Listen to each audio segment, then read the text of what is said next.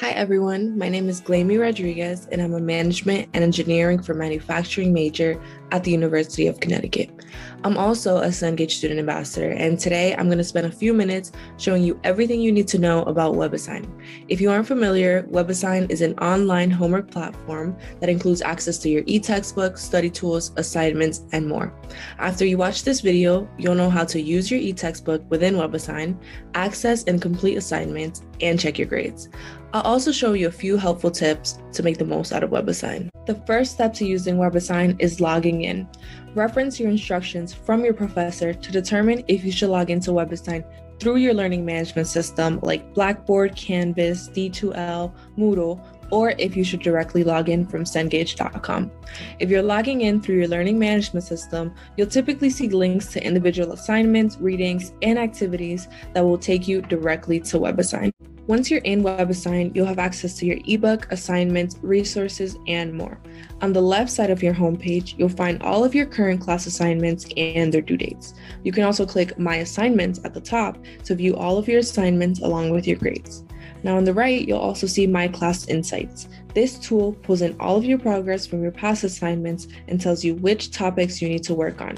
You can also access extra practice for your trouble areas. To access your ebook, you can select My eBooks at the top of the page or navigate to the bottom and access your ebook from there.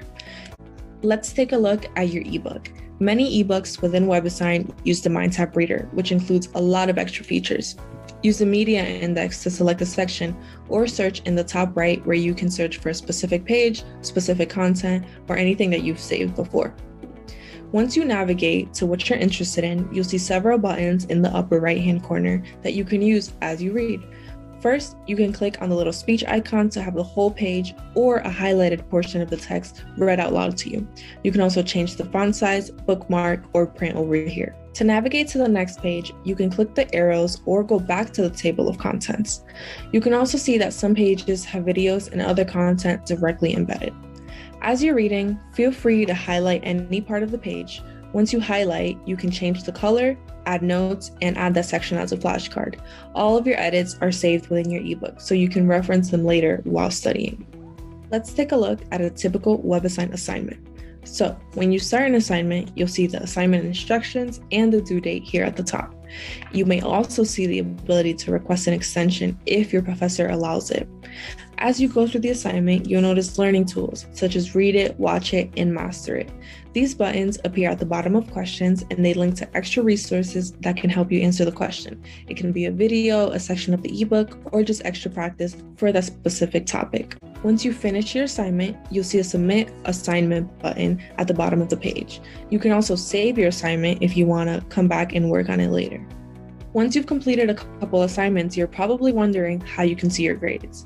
You can actually access your gradebook right from the WebAssign home screen. Once you're in the gradebook, you can see your total grade to date at the top with details per assignments below. As a note, your grades also may be flowing over to your LMS gradebook. If you're worried about missing assignments and staying on track in WebAssign, be sure to customize your email notifications by clicking this little envelope in the top right of your home screen. You can enable reminders before due dates so you don't forget about any upcoming assignments. That's really helpful. And while you're here, don't forget that you can access the help guide by clicking the question mark. There's a ton of resources for all of the questions that you may have about WebAssign. All right, everyone, that's it. Easy, right?